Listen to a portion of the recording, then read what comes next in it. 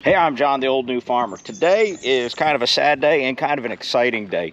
We have made an agreement with a farmer uh, about a couple hundred miles south to sell our entire herd. We're keeping a few of our beef mama cows, but uh, kind of exciting. We're going to buy into another herd. So, anyway, today is going over and loading them up and getting them on the road. So, let's get going. So like I said, we've made a deal to sell off our entire herd of Corriente cattle. We're gonna be, you can hear Dally, Dally the Wonder Dog there. She's ready to work cattle this morning. Um, anyway, we made a deal to sell off our entire herd of Corriente cattle. We're gonna be moving back into a more traditional beef cattle. Uh, so I'll be buying cattle over the next couple of weeks, trying to get a herd back, a, a decent herd.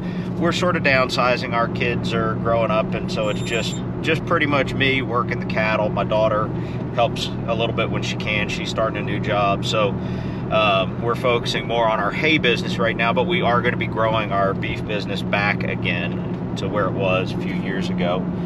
But the most important thing is it's Saturday morning. And one of my favorite things about Saturday morning, for anybody who cares, is it's a good time to take a break, kind of regroup after a long work week.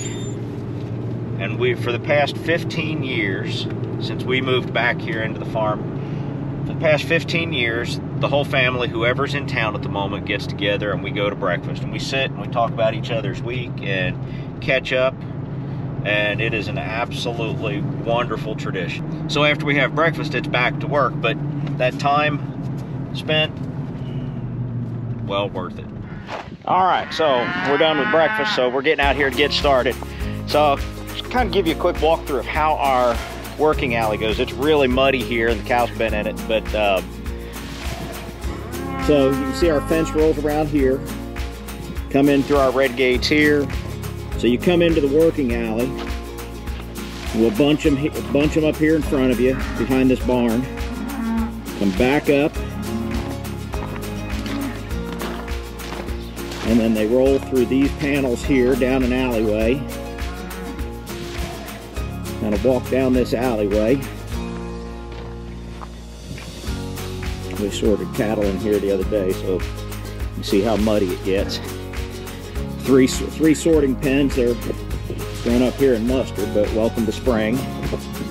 So we got one for calves, one for steers, and another one for steers down there. But it's really muddy here, so make sure you're aware of it when we start pushing. So we come through this area and I'll just walk all the way through.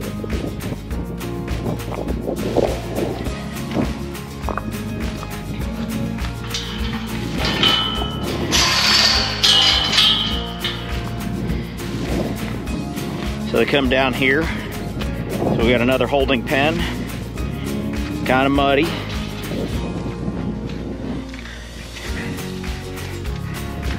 Big push gate here, bull gate.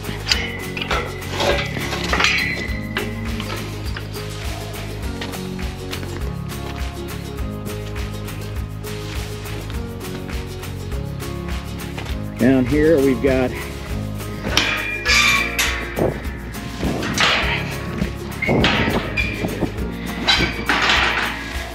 sweep chute. Come in here, they get pushed on down.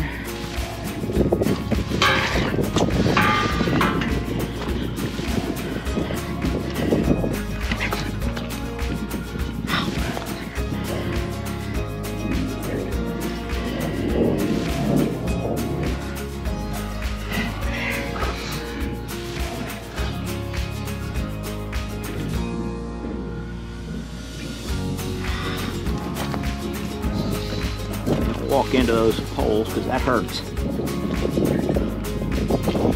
Walk into here.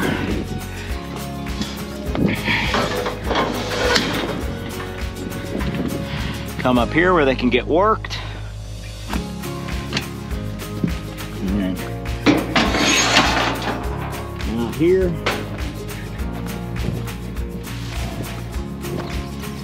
We've got another set of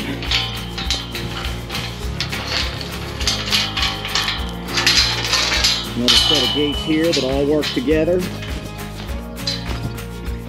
And then this is where trailers come in and we load them from here. It's kind of confusing, but you have to have a lot of, if